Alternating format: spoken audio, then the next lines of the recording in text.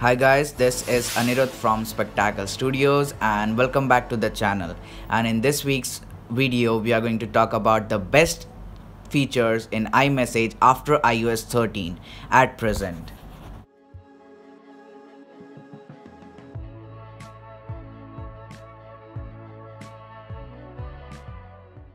So the first feature is dark mode. As iMessage supports dark mode after iOS 13, it not only makes the theme but also the chats look simple, dark and elegant. So moving on we have Memoji on our list and this is so far the best and my personal favorite feature of iOS 13.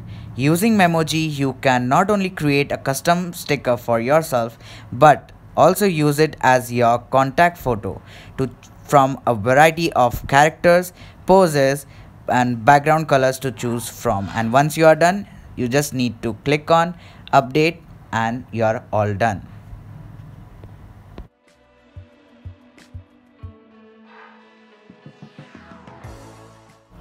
Lastly on our list is the search bar.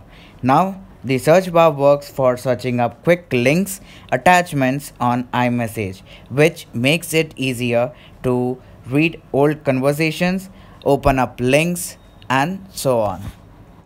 So these were the top three best features in iMessage right now and I hope you guys liked this video so if you did then drop a like and subscribe to this channel for weekly tech content and see you guys in the next video.